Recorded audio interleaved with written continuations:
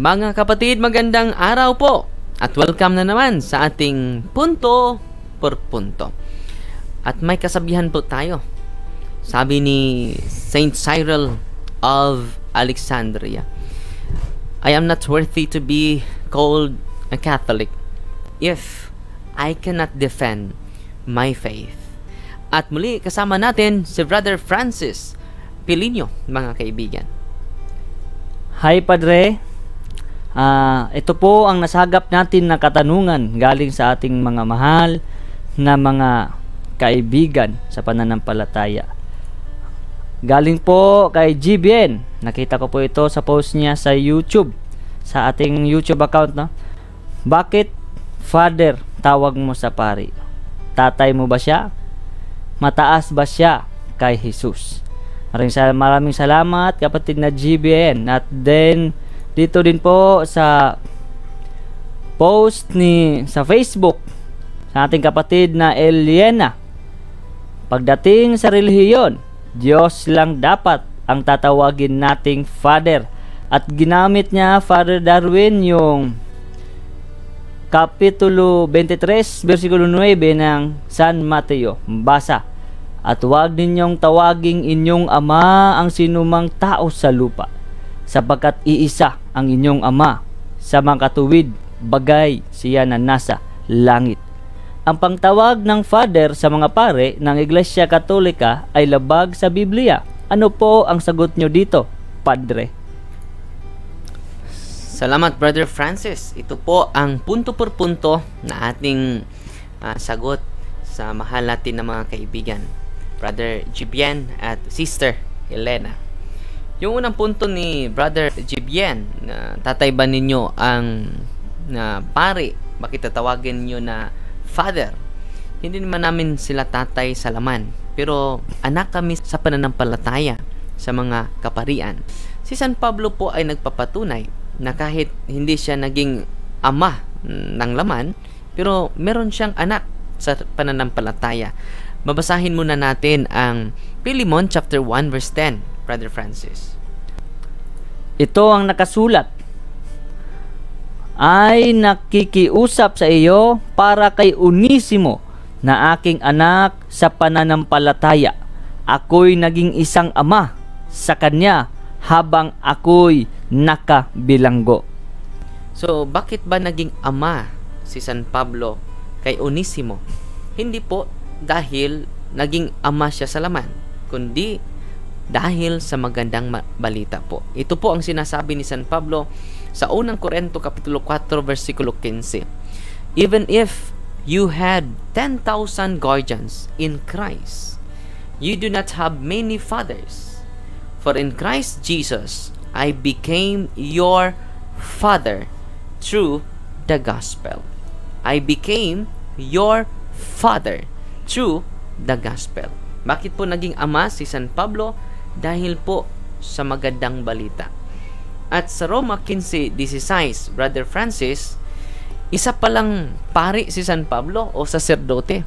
Ating babasahin, Brother Francis. Ang Roma, Kapitulo 15, versikulo 16. Ito ang nakasulat upang maging lingkod ni Kristo Jesus at gumanap ng tungkulin bilang isang saserdote sa mga hintel.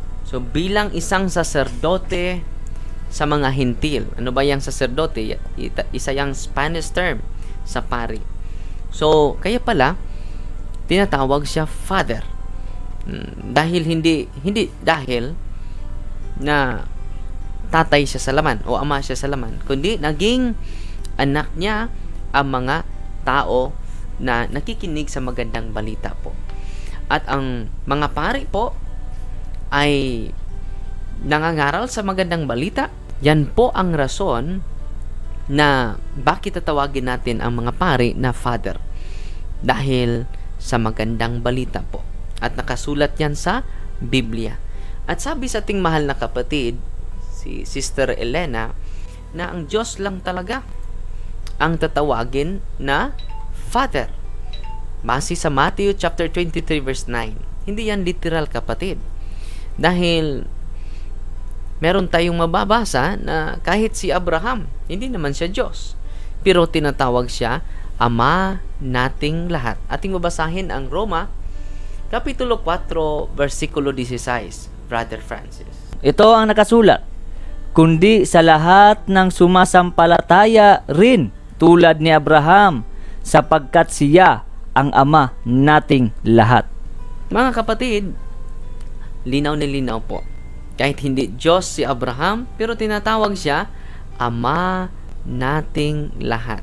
Dahil hindi po literal ang Matthew chapter 23 verse 9. Kapag literal ang kanyo ang inyong pag-intindi diyan at pag-uunawa, makabayoli tayong lahat. Dahil ano bang tawag sa tatay ninyo? Kumpare? No. Engineer? Attorney? Hindi naman. Kundi tatay, father, daddy. Yun po ang tawag sa atin ng ating ama. So hindi yun literal ang Matthew chapter 23 verse 9. At kita natin, ang pari pala ay dapat tawagin nating ama. Meron ba tayong mababasa dyan? Ating babasahin ang mga hukom 18-19. Ito ang nakasulat. At sinabi nila sa kanya, Pumayapa ka, itakip mo ang iyong kamay sa iyong bibig, at sumama ka sa amin, at maging ama at saserdote kan namin. Salamat Brother Kukoy. At sabi ng banal na kasulatan, at sinabi nila sa kanya, Pumayapa ka, itakip mo ang iyong kamay sa iyong bibig at sumama ka sa amin at maging ama, maging father, no? At saserdote ka namin. So, pare yung saserdote. So, ang saserdote o pare ay maging ama ka sa amin. So, mababasa ba yan sa mga hukom 18, 19. So, sa pagtawag natin sa pari na father, biblical pala iyon. At nasa Biblia ang lahat ng mga mga punto natin. Mga kapuntos, yan po ang punto per punto na ating sagot. So, biblical pala ang pagtawag sa pare na padre or father. So, mga kaibigan, fight po Team Maria, tatak CFD with a humble heart.